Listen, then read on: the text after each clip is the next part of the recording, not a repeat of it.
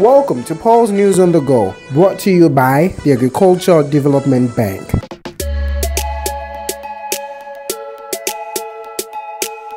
Health workers in various hospitals in Accra are beginning to feel the pressure of providing care to the increasing number of patients as some junior nurses and midwives begin their indefinite strike today, February 3, 2016, over unpaid salaries.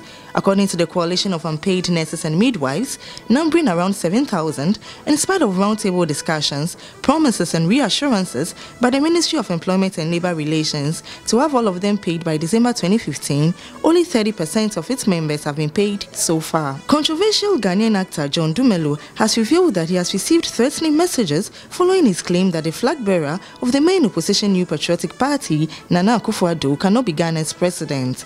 I keep on receiving threatening messages from anonymous persons. They are threatening my life. So many things for making a statement, but I give everything to God. They are issuing the threats on social media, anonymous phone calls and things, Dumelo said in an interview. Prices of phones and mobile money transactions are set to go up as the Mobile Money Merchants Association are getting ready to increase the price of recharge cards by 10% starting today, Wednesday, February 3.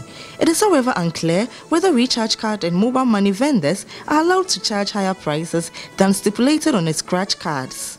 Aston Villa forward Jordan Ayew has apologized for getting sent off in Tuesday's night's game against West Ham United. The 24-year-old was issued with a straight red card in the 16th minute of the match for elbowing Aaron Cresswell. Villa, who are languishing at the bottom of the Premier League table, went on to suffer a 2-0 defeat, their seventh league loss of the season. And that was your Pulse News on the Go, brought to you by